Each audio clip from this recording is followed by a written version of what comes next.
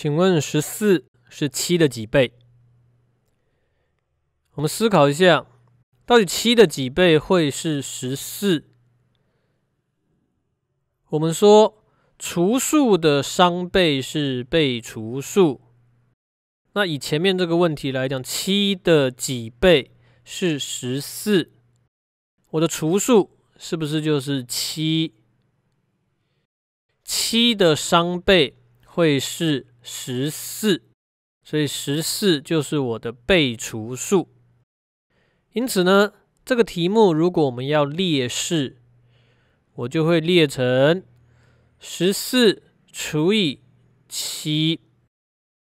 那十四除以七，答案会是多少？商就是除数的倍数，七的多少倍会是十四？七乘一是七。七乘二是十四，所以答案是二。所以说十四它就是七的二倍。